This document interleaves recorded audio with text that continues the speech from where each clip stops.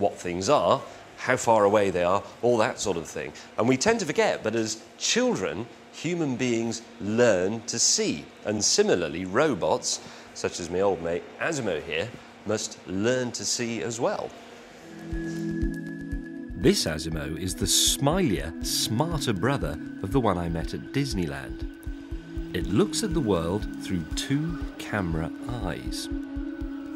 We interpret these images as a man waving, but to begin with, Asimo can't interpret anything at all. Professor Körner here may as well be a psychedelic swirl of digital rubbish. So, Professor, um, Asimo is just an uncomprehending box of electronics. So, how do you make him look and learn? well, uh, we start uh, teaching Asimo to see just the way a baby starts to explore the world. So, if you put an object uh, close to uh, the baby in its reaching distance, the baby immediately attends to, tries to fixate it or to grasp it. So uh, going close to his grasping and reaching distance yep. shows him this is an important object and uh, he should try to attend to fixate. So he's, so he's, so, he's locked on target? Yes.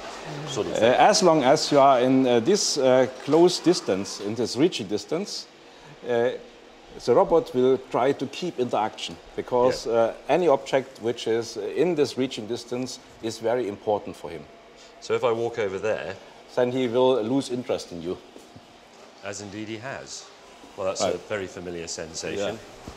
We also can use acoustic cues, uh, so uh, calling Asimo to uh, raise his attention. Asimo, look at me. Oh, there you go. All right, mate. Once we have Asimo's attention with an object, he can have a go at identifying what it is. Now, he's already learned about a hundred different things. I've got some of them here. I'm going to try them out. And this, incidentally, is merely because his ears aren't really good enough for the voice stuff over a distance. This is a direct tap into his brain. Anyway, Asimo.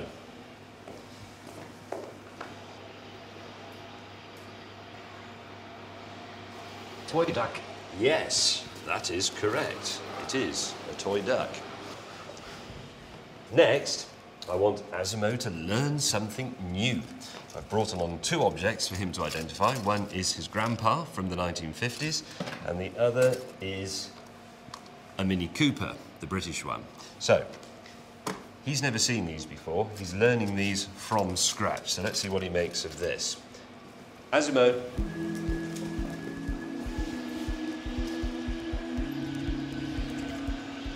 Unknown object. Grandpa. Grandpa, say, yes, this is correct, or no, this is wrong. Yes, this is correct. Okay. That means he's learned it. Now, we'll try that out later on. I'll go back with Grandpa and we'll see if he remembers who he is. Next, the Mini Cooper. Asimo. Pay attention, it's one of the most important small cars in history. Maybe toy car. Mini Cooper. Mini Cooper. Okay. Right. Now let us see if the lad can remember Grandpa. Asimo.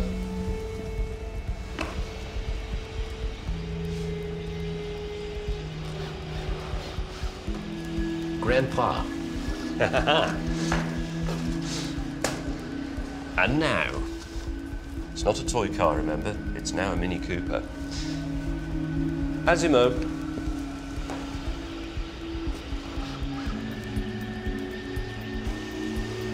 Mini Cooper.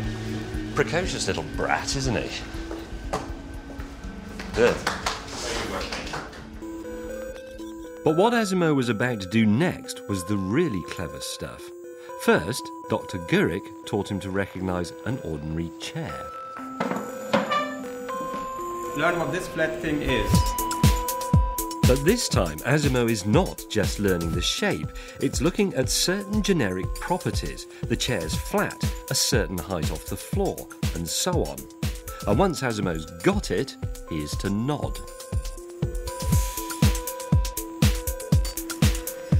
We then showed it an office stool, now we can see it's a type of chair. But it's nothing like the shape of the first one. So, will Asimo recognise it as a chair? So he's nodding, saying yes, he recognises that as a chair. Yeah. And just to make sure it wasn't cheating, I got them to show it a table and ask if that was a chair. It's not fooled. You saw? Yeah. Shaking. That's very good. Hold on a minute. What you've just seen is a machine making a judgment. Asimo's identified an object it's never seen before by recognizing its features and working out that these qualify it as a chair. This is an interpretative skill at a very, very basic level, but it is that rather than mere recognition. It's not shapes in slots again, it's, it's a bit of thought. Yes. So it's basically towards some understanding of the, concept of the meaning of things rather than just their appearance. Right, so is this the beginnings of genuine intelligence rather than simply programming? We are targeting for this. Yes. How long until he takes over the world? Uh, I don't think this will happen. So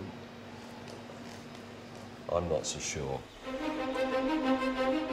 I thought this was a pretty impressive glimpse of artificial intelligence, and the potential is mind bending. If you can program a machine to think for itself, could you ever program a machine to have imagination like we do? In my opinion, there is a good way of putting this to